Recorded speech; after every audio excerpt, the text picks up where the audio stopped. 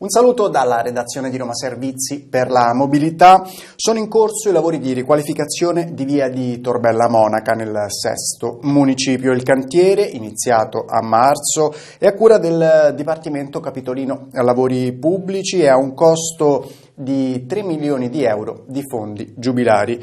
Le lavorazioni attuali su via di Torbella Monaca, fa sapere il Campidoglio, completano ed integrano il precedente stralcio dei lavori e interessano la tratta per circa eh, 3 km che va da via Casilina al raccordo in entrambi i sensi di marcia.